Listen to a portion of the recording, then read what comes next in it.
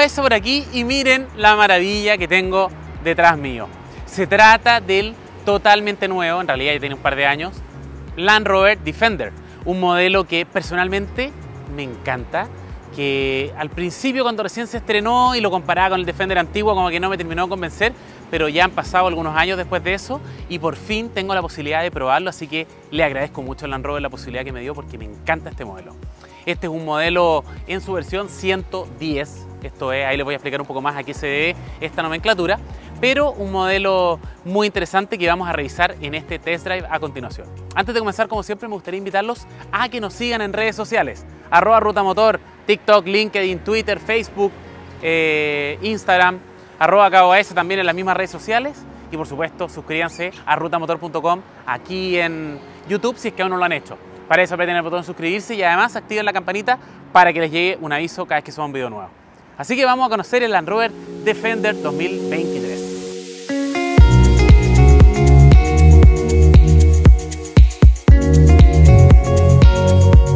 ¿Sabías que en Ruta Motor te podemos hacer una oferta para comprarte tu auto usado?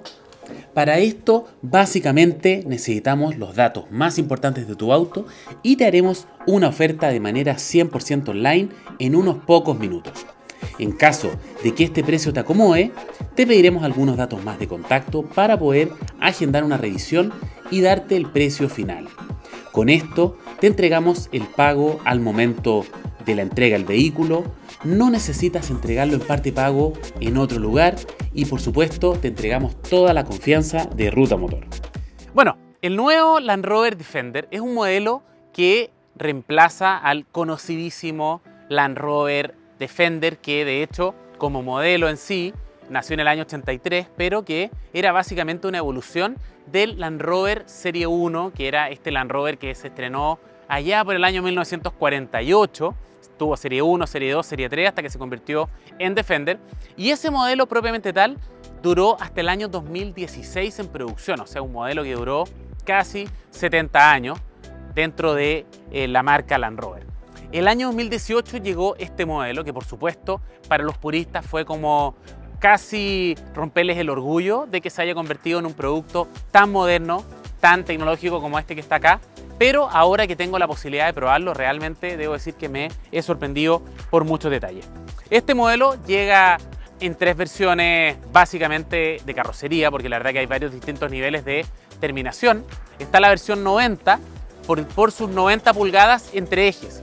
Esta versión que es la 110 por sus 110 pulgadas entre ejes y la 130 que es la que tiene 130 pulgadas de distancia entre ejes. Este es un modelo que, como pueden ver, tiene cuatro puertas, un largo cercano a los poquitito más allá de 5 metros, también un ancho de casi 2 metros, con un alto también de casi 2 metros, por lo tanto un vehículo muy grande, muy robusto. Obviamente lo que uno esperaría en un producto como el Defender es estas líneas cuadradas, bien todoterreno, y que si bien se han modernizado enormemente en esta última generación, mantienen esta robustez que uno esperaría del modelo. Comenzando, en el frontal nos encontramos en el capó esta inscripción que dice Defender y que de hecho sobresale por sobre el modelo Land Rover. Incluso les voy a decir, la marca ya ha separado las distintas líneas en sus productos Land Rover y va a quedar la gama Defender como los productos más todoterreno, la gama Range Rover como los productos más lujosos y la gama Discovery como sus productos más familiares.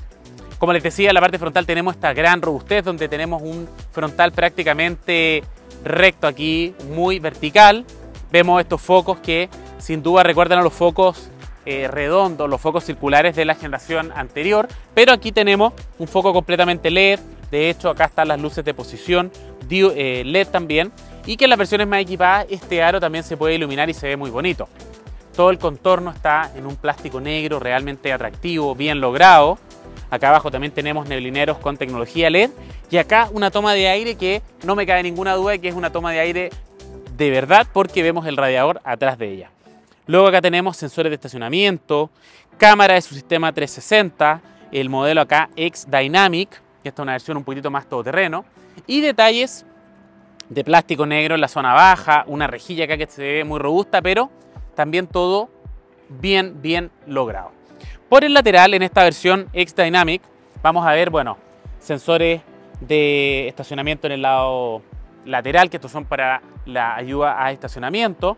Tenemos plástico que en el fondo está pintado color negro brillante, así que le da un detalle mucho más lujoso. Algunos detalles que incluso recuerdan a los Defender antiguos, acá dice Defender, como esta plaquita que está integrada en el paso de rueda delantero, porque el capó se abre hasta acá, pero parece que fuera como una separación. Antiguamente esta placa incluso era un detalle decorativo que le ponían a los Defender, que era una placa aluminio y ahora viene integrada en el capó, obviamente de todo el mismo material. Eh, y aquí, por ejemplo, fíjense en esta rejilla que antiguamente por aquí era por donde ingresaba el aire hacia el habitáculo, que ahora básicamente es una moldura, digamos, que nos tiene más allá una función em, de eh, efectivamente ventilar, sino que es más bien un tema de diseño. Y otro detalle curioso, fíjense cómo están las plumillas. Estas plumillas están un poco levantadas. No he averiguado con la gente de la marca, pero estoy casi seguro de que cuando uno lo deja en esta posición es pensando, por ejemplo, si va a estar en un lugar donde puede haber nieve y así las plumillas no quedan abajo donde acumula más nieve, porque basta darle contacto, empezar a moverse y las plumillas vuelven a su posición aquí abajo. Luego, luego mantiene algunos detalles muy interesantes, unos retrovisores bien cuadrados, robustos, que salen de acá abajo, con este detalle negro que continúa, que es como una continuación de la luneta. Además, hace muy buen juego con el techo también de negro brillante, la zona baja negro brillante. Espejos que son abatibles eléctricamente, con intermitente y con la cámara del sistema 360. Una enorme zona vidriada que aquí vemos la ventana de la zona trasera con vidrios tinteados. Un detalle también aquí del color de la carrocería donde encontramos la inscripción Land Rover. Una ventana en el techo, una ventana llamada tipo Safari que le da mayor iluminación al interior y que también recuerda a los modelos antiguos del Defender, que de hecho el Defender venía con un techo como, como con un formato sobre elevado que le da mayor iluminación. Eh, ah, y no hablé antes, este modelo viene con llantas Aro 20, que en este caso casi se ven chicas, porque muchos de los Defender que vimos para el lanzamiento venían con llantas Aro 22, que a nivel estético por supuesto se veían muy bonitas, pero personalmente yo me quedo lejos con este formato de llantas, porque es una llanta atractiva, pero que cuenta con neumático 255-60 R20, o sea, acá tenemos un neumático all terrain con un buen perfil y que además nos va a entregar un excelente comportamiento en terrenos más complicados. La zona trasera, aquí está absolutamente claro que es una definición de un portalón vertical, porque si se fijan es totalmente vertical hacia el suelo. También vemos detalles negros aquí, donde está la ventana. Vemos el, bueno, la rueda de repuesto, por supuesto, un detalle muy todoterreno. Acá la manilla para abrir su, su portalón. Y estas luces que quizás fueron el detalle que menos me gustó cuando se lanzó y que todavía no me terminan de convencer, pero de todas maneras están bastante bonitas. Acá está la inscripción del modelo, dos ganchos de remolque, un gancho también de su coco de arrastre y podemos abrir aquí para ingresar a su maletero que además vamos a encontrar algunos detalles interesantes. Este es un modelo que les voy a mostrar interior, de hecho se puede limpiar y manguerear prácticamente. Así que aquí atrás también vemos todos estos detalles plásticos que cubren la tercera corrida. Y un detalle bien interesante que les voy a mostrar, esperemos que pase el helicóptero, bueno, ya que estamos aquí, les puedo mostrar la tercera fila. Esta tercera fila, como pueden imaginarse, se puede bajar para que quede completamente plana. Tiene mm, esto iluminación en el techo que hace que se vea muy bonito, que le entre, más luz. Y aquí abajo incluso tenemos las herramientas con esta tapita que por supuesto nos ayuda a que todo quede en su posición como debe ir Ah, aquí lo pongo.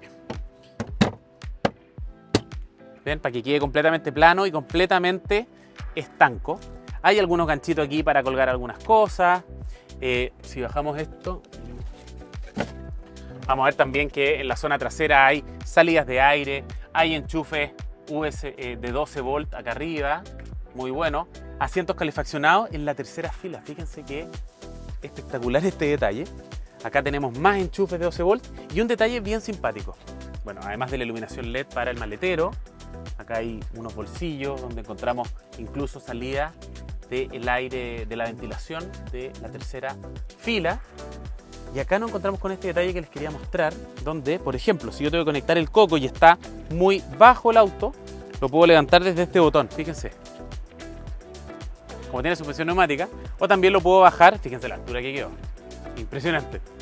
Entonces, si es que tengo que conectarle un remolque muy alto o si tengo que al revés conectarle un remolque más bajo, lo puedo bajar desde aquí. Fíjense cómo baja. Bueno, sensor de estacionamiento, cámara de retroceso. miren todo lo que puedo bajar aquí. Así que espectacular y bueno, ya que les mostré todos los detalles de la tercera fila, vamos a la segunda y al interior de este entretenido Land Rover Defender. Bueno, y aquí en el habitáculo del Land Rover Defender yo creo que la marca hizo una tarea magistral en lograr captar ciertos detalles de lo que era el Defender anterior, de lo que era un vehículo pensado en el todoterreno, pensado en la robustez, pero llevado a una mezcla, yo creo, con una marca que tiene un producto como el Range Rover, Range Rover Sport y mejorado a un nivel espectacular. De partida tenemos un volante que se siente robusto, que tiene, bueno, obviamente regulación de altura y profundidad. Vamos a regularlo aquí. ¿Dónde está Altura y profundidad. Un volante que es distinto al de hermanos de su marca, con los comandos del sistema multimedia que además dependiendo de cómo apretamos puede aparecer aquí distintos tipos de usos de este display, por lo tanto un display variable para podemos activar el volumen, podemos ver distintos formatos de la pantalla, aquí tenemos un tablero de instrumentos de una pantalla completamente digital muy atractiva, se los voy a mostrar aquí algunas de las funciones, pero por ejemplo podemos cambiar el tipo de vista, podemos poner un diseño donde tengamos el tacómetro al medio, que a mí me encanta. Podemos tener a los lados distintas configuraciones, podemos tener también un panel de instrumentos, obviamente, a ver, vamos a seguir aquí tratando, hay mucha, mucha información en este tablero de instrumentos. Podemos ver el mapa, para los que les guste y sean medios perdidos, pueden tener el mapa como principal eh, protagonista de la pantalla. Podemos tener también bueno, mucha información del viaje. Podemos también dividir la pantalla y tenerla más simple. O inclusive tener asistentes al conductor. Yo voy a dejar los dos marcadores que eran los que más me gustan a mí. Em, una pantalla que además entrega mucha información para cuando estamos usando el todoterreno.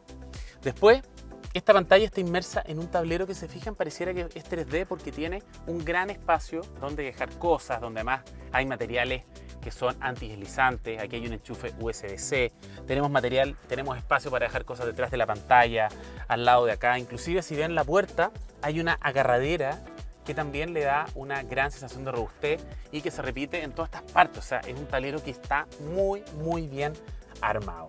Acá tenemos por otro lado lo que es el otro lado de la marca y es toda la tecnología de su sistema Pro MIDI, Pro PIDI creo que se llama, esta pantalla de 10 pulgadas donde encontramos no solo las conexiones al teléfono, Android Auto, Apple CarPlay, tenemos mucha información de los distintos sistemas del vehículo, de, de las cámaras de 360 en este caso, de los sistemas de cámaras todoterreno, podemos ver, vamos a ver aquí tenemos las cámaras, podemos tener una cámara para cuando estamos fuera de camino, tenemos una cámara también que nos va a mostrar, por ejemplo, cuando estamos vadeando, eh, podemos ver los distintos asistentes del sistema 4x4, la brújula, la altitud al suelo, o sea, podemos hacer muchas, muchas cosas.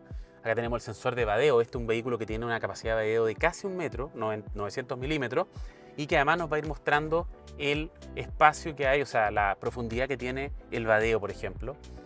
Eh, así que muy bien. Este modelo que estamos probando hecho viene con el sistema de infoentretenimiento con el sistema de audio menos completo. Hay unos que vienen con audio Meridian, pero igual suena muy bien. Después tenemos acá el climatizador que además nos va a servir para muchas funciones. Primero tenemos al lado izquierdo este joystick de su caja automática, pero que como se fijan es una caja que está como en la parte alta, entonces nos deja todo este espacio disponible para colocar objetos.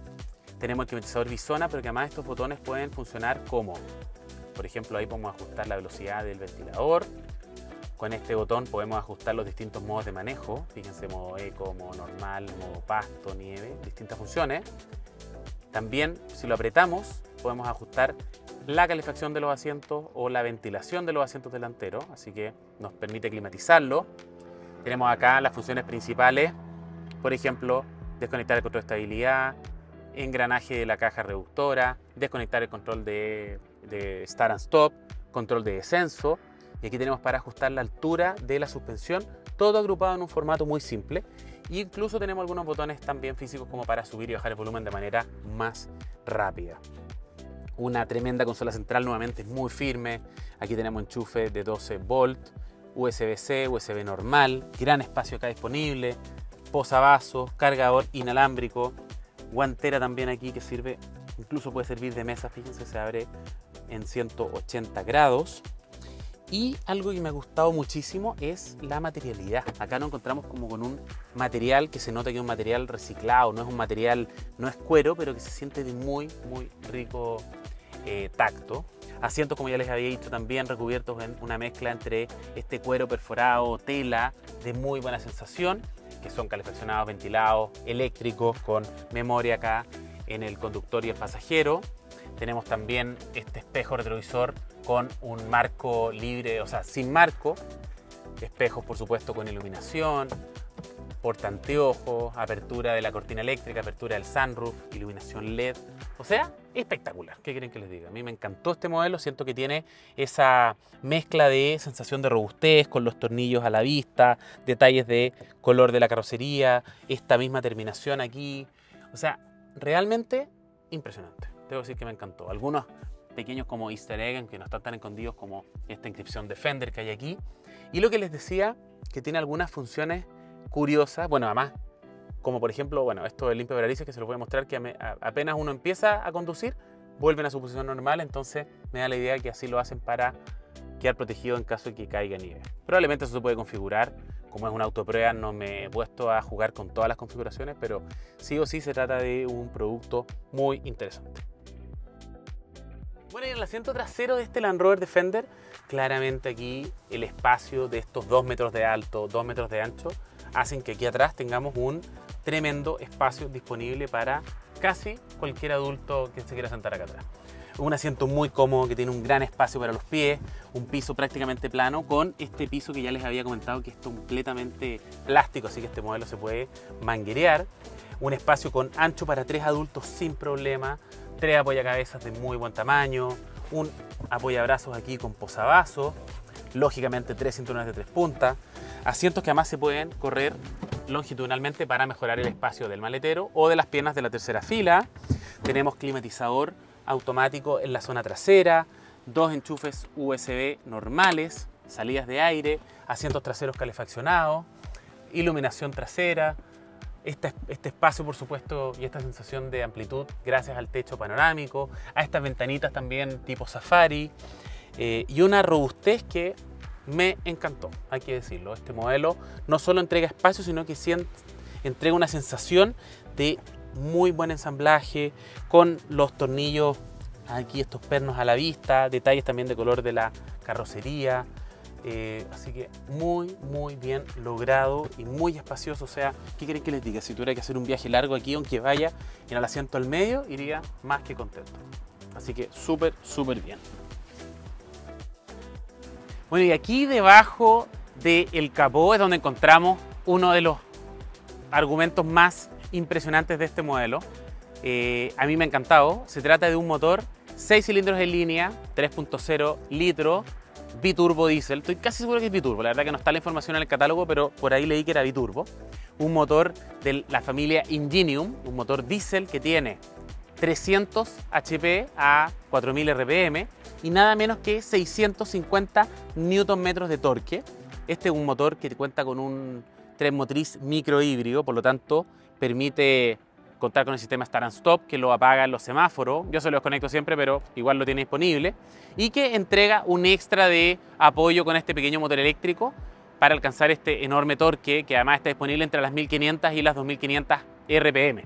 Se acopla una transmisión automática de 8 velocidades con posibilidad de manejo secuencial desde la palanca, que además tiene tracción en las cuatro ruedas, por supuesto, con caja reductora, bloqueo diferencial central y alcanza un consumo mixto. La marca tiene puesto en el catálogo 11 km por litro, pero yo por ahí encontré en la página del ministerio que homologó 10 km por litro en ciudad y 15 km por litro en carretera, o sea, da un mixto cercano a los 13.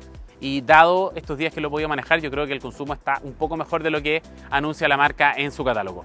Pero de verdad es un motor espectacular que mueve este tremendo SUV 4x4 y permite acelerar, según catálogo, de 0 a 100 en 7 segundos y alcanzar una velocidad máxima en torno a los 191 km por hora. Pero vamos a manejarlo a ver qué nos parece este espectacular Land Rover Defender 110 300 Diesel. Bueno, ya los mandos de este Land Rover Defender 110 300D MHEV, Mile Hybrid Electric Vehicle. Eh, siento que Land Rover se lució con este chasis. De partida es un modelo que teniendo un tamaño súper grande, un tamaño voluminoso, se siente como que estuviera manejando un auto mucho más compacto. Em, primero, tiene una suspensión magistral, hay que decirlo. Yo creo que yo he tenido la suerte de manejar varias veces modelos de Land Rover, eh, Range Rover Sport, Range Rover normal.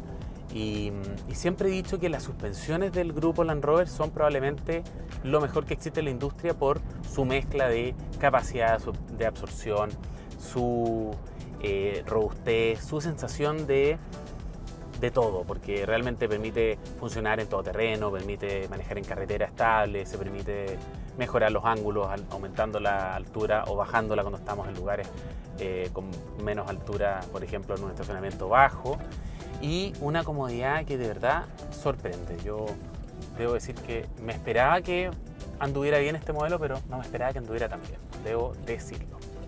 Eh, por otro lado, este motor Ingenium 3.0 litros turbo diésel funciona también a las mil maravillas. O sea, es un motor muy silencioso. He subido varias personas estos días y nadie, nadie ha podido creer cuando le he dicho que se trata un motor turbo diésel. Eh, un motor que además entrega una tremenda sensación de empuje. Son 300 HP en el catálogo, pero lo más importante son los 650 Newton, que de hecho tiene más torque que la versión bencinera que tiene 400 caballos. Este motor tiene 650 Newton versus los 550 del motor bencinero.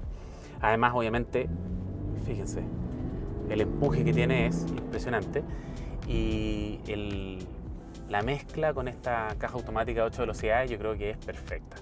Una caja que eh, privilegia en prácticamente todo el tiempo la comodidad, pero sí la muevo hacia el lado izquierdo, aparece una S en el tablero y se coloca en un modo más deportivo.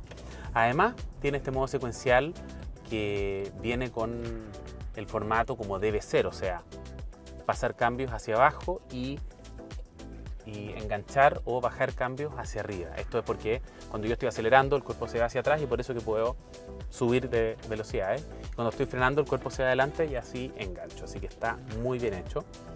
Em, por otro lado, también este modelo, como les decía, tiene todas las ayudas a la conducción que uno esperaría de un buen Land Rover y un buen Defender. Tracción en las cuatro ruedas permanente con bloqueo diferencial central, con caja reductora, con modos de manejo de su sistema Terrain Response. Yo diría que Land Rover, si no me equivoco, fue una de las primeras marcas en inventar esto, los modos de manejo todoterreno y que además se van adecuando a las últimas tecnologías. En este caso, además, el modelo tiene una cámara 360 que nos va a permitir ver dónde va la rueda, ver por dónde pasamos. Tiene también este formato, tiene este sistema de mm, asistente de vadeo que nos va a mostrar la profundidad del el agua, por supuesto, a la que vamos a pasar, a la que podemos pasar. Em, tiene además todos los sensores que de algún momento en ciertos obstáculos todoterreno pueden ser un poco molestos porque obviamente van a detectar ramas y algunos obstáculos quizás, pero de todas maneras nos van a servir para cuidar la hermosa carrocería de este Defender. Eh, lo otro que me gustó fue la sensación de solidez que me parece que en todos los productos de Land Rover uno siempre tiene un habitáculo que se siente muy bien armado. Eh, pucha, algo que yo creo que también diferencia a Land Rover de otras marcas de lujo es que tiene muy pocos crujidos, muy, ningún ruido. Yo he andado en Land Rover con hartos kilometrajes que no tienen ni un solo ruido. Y este Defender me parece que logró además ofrecer un habitáculo que se siente muy bien, muy bien armado, no tan lujoso, pero a la vez muy bien terminado, con materiales blandos, pero más pensados en la durabilidad. Em, por otro lado, también el resto de los componentes, las luces LED, eh, todo está súper bien conseguido. Creo que este producto a mí me ha sorprendido enormemente lo fácil que se maneja, lo cómodo que es, aunque tenga un tamaño grande, no cuesta manejarlo en la ciudad, tiene buen radio giro. Eh, el motor, para qué decir, es, una bala, de, bala de, bien logrado, silencioso, económico. Pucha, una maravilla, ¿verdad? Voy a conversar con la marca si me lo prestan por un tiempo para irme a una aventura al norte, al sur, no sé, porque está espectacular. Y lo otro que además siento que un Defender, eh, si bien perdió algo de, o bastante de lo que era el, el concepto original de ser un producto prácticamente era como un producto más que rudo, era, era casi un 4x4 de la guerra. Este logró reinterpretarlo y casi suplir los 70 años que habían de diferencia, pero sin perder el, el norte, sin perder como la esencia. Y se siente como un Land Rover lujoso, pero también se siente como un Land Rover aventurero, que dan ganas de irse a recorrer, eh, que me parece que además, pucha, Land Rover desgraciadamente tiene como una, una imagen de que es una marca que tiende a tener problemas, a fallar. Pero por otro lado yo soy de la idea de que no necesariamente es el modelo o la marca la que puede fallar, sino cómo la cuidan. Y este es un modelo que si uno le hace las mantenciones, ocupa los lubricantes que requiere y cuida su componente, no me cabe duda que puede ser un producto muy, muy durable y de mejor calidad de lo que muchos, de, los que muchos hablan. Así que nada, debo decir que me encantó. obviamente tiene un precio que es muy elevado. A mí por lo menos me pasa que eh, muy pocas personas van a poder tener la oportunidad de subirse y disfrutarlo, pero si alguien está pensando en gastar esta cantidad de plata en un vehículo familiar, en un vehículo todoterreno y un vehículo que además que tenga personalidad, yo creo que hay un productazo aquí. Así que, bien por Land Rover, qué rico que pudieron revivir este modelo, reinterpretarlo y ofrecer este nivel de, tecnología y todo lo que uno esperaría un Land Rover del año 2023. Bueno amigos, ¿qué quieren que les diga? Este modelo me ha dejado enamoradísimo. Yo que soy amante de los 4x4, también soy amante de las últimas tecnologías en SUV, creo que este que está aquí ha conquistado mi corazón. Yo soy de los amantes del todoterreno, de los amantes también de este diseño más robusto. Probablemente otro de los modelos que más me gusta es un modelo que además se escapa en precio a este, que es el, Mercedes-Benz Clase G. Y este Land Rover obviamente tiene un precio bastante elevado, voy a dejar aquí abajo porque me dio un poco de pudor decirlo al principio, pero dado lo que lo he podido manejar, dado sus características, dado el nivel tecnológico que ofrece, creo que la marca Land Rover ha hecho un trabajo pero de joyería en conseguir este espectacular SUV. Mantener su estirpe de vehículo todoterreno, mantener los detalles que lo caracterizan desde toda la historia anterior, pero llevado al siglo XXI con un motor con una potencia espectacular, que prácticamente no suena, con una suspensión, probablemente la mejor suspensión del mercado, como muchos de los productos de la marca Land Rover. Unas capacidades todoterreno espectaculares que en este caso no se las mostré en video porque no pude llevarlo, pero estoy ahí conversando con la marca para hacer una aventurita por ahí para demostrarles hasta dónde puede llegar y además una comodidad de manejo, una seguridad espectacular y sin duda también un diseño que no solo desde, desde el exterior se siente interesante, sino que también al manejarlo. Si tenemos que buscarle algunos puntos mejorables, probablemente algunos puntos de equipamiento. Me habría gustado que hubiera tenido un poco más de ayudas a la conducción por su precio. Probablemente también podría haber tenido un sistema de audio de alta fidelidad. Sabemos que están disponibles en otras versiones, pero me habría gustado. Y probablemente si tuviera que configurar uno a mi gusto, le hubiera puesto las luces LED en los, en los focos principales, algunos pequeños detalles, luces LED diurnas, a eso me refiero. Pero esta configuración creo que alcanza el 98% de mi, de mi gusto y sin duda los que tengan para comprarse este modelo y estén buscando un vehículo especial, escucha, absolutamente recomendado. Así que bueno, espero que les haya gustado este modelo. Como siempre los dejo invitados a que se suscriban al canal, a que comenten el video, a que lo compartan y a que nos dejen sus comentarios y por supuesto atentos a todo el contenido acá en Ruta Motor. Nos vemos, yo voy a seguir paseando porque me encantó este modelo.